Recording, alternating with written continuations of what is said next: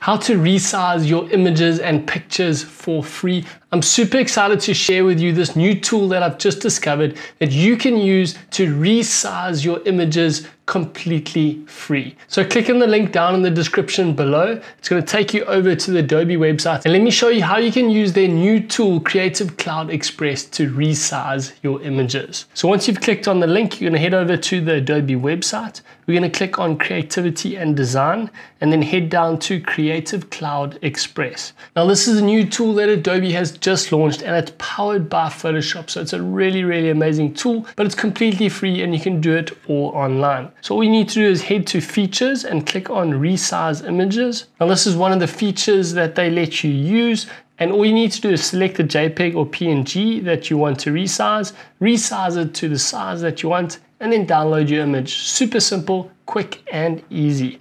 Now the really cool thing that they've done is they've given you a whole lot of templates as to what you would want to resize an image to. So there's an Instagram story, there's an Instagram square, there's your Facebook profile cover, there's create a portrait for Instagram, you can create a landscape for Instagram, you can create a post for Facebook, you can create an IGTV cover, you can do an event cover for Facebook, you can create a thumbnail for YouTube, you can do a header for Twitter. Then they're the basic, your 4x3, 3x2, 16 by 9, 9 by 16.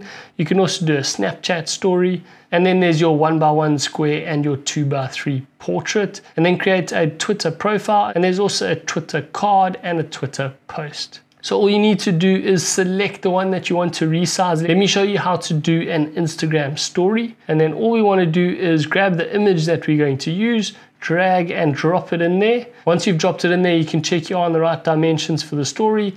You can switch to a square, a portrait, or a landscape. We're going to do a story here. And then you can scale your image if you want to scale in a bit. And then you can drag and move it around to get it exactly where you want it and how you want your image to be shown. Once you've resized it, all you need to do is click download and that's all you need to do. Quick, easy, and simple. How amazing is this tool? If you like it as much as I do, make sure you hit that like button to let us know. And if you want to see more cool features that this amazing tool is doing, you can watch our next video right here.